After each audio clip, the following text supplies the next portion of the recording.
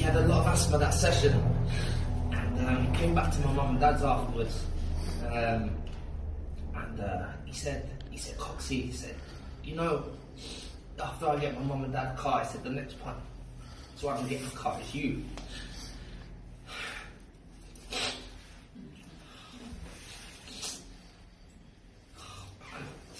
What a boy, innit? I told you, you know, brother, don't want no house, I don't want no car. you know what I mean? he was just so Yeah. he just wanted to give people, you know, know, he wanted know. to give back to people that helped him. Yeah. And uh, I thought, man, I just want to see you happy, man. yeah, and um, you know, he, he was always looking out for people, man. Yeah, I know. We had um, even what in the season awards, he came down, Yeah. he lifted up in his in his silly pig hat, man.